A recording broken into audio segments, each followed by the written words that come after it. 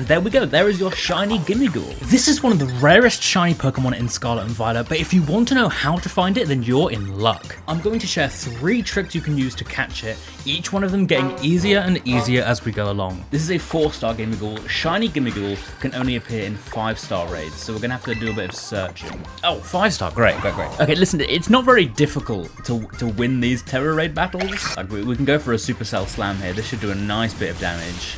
There we go, two hits and it's down. It's very difficult to tell if these guys are shiny until after you've caught them. So what we're going to do is we're going to catch this little guy in a Pokeball, go into our party, look at this Gimmighoul we just caught. You can see the little Terastal icon next to it. If it's shiny, there'll be a shiny icon.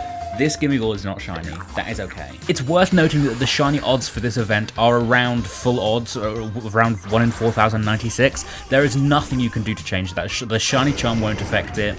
Sandwich power won't affect it. It is fixed. So if you are going to hunt it this way, you're going to spend you're going to spend a long time hunting for it. Although there are still other ways to uh, speed it up, but you know, we'll get into that later. Eventually you're going to run out of Tera Raid dens. I've looked at all of these. There's no more 5 stars left. All you have to do to reset is go into settings, scroll down to system, go to date and time, make sure synchronized clock via internet is off, go to date and time and skip one day forward. When you go back into the game, all the Tera Raid dens will reset and there'll be more Gimmighoul for you to find. Nice, okay, another 5 star. If you want to catch your shiny Gimmighoul in a certain Pokeball, I would recommend that you go into options, make sure autosave is off, and then save before you enter. If you do this, you can go ahead with the normal belly drum drain punch routine, and then when you knock it out, you can catch it in a regular Pokeball like we've been doing for the past two raids, and then we go to check if it's shiny. This one is not shiny, but if it is shiny, you can then reset your game, go back into the raid battle, and that same Gimmighoul should still be shiny,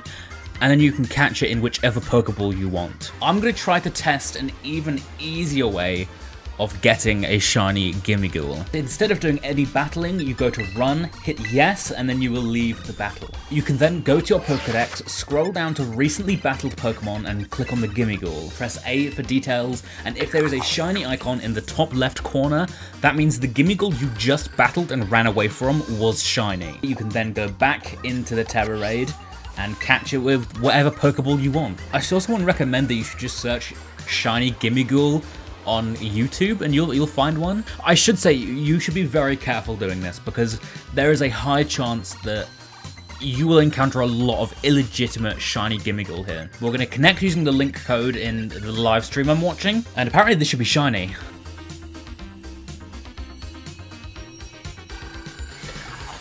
Would you look at that? That looks pretty shiny to me. You can see the Gimmighoul itself is much brighter than the little buckle on the chest. That's how you can really tell it's shiny. And then we finish it off with a Drain Punch. We're to catch this in my favorite Pokeball, the Beast Ball. I have 78. I've been farming the... what's it called? I've been farming the item printer like crazy. And there we go, there is your shiny Gimmighoul. I'm going to check summary, and the shiny icon will be right there. If you want to make sure you never miss a shiny Pokemon again, you should really subscribe. You will not regret it. And if you want to know where the next Pokemon Legends ZA trailer is, great news, there's a video on screen. You can click it and it'll take you there.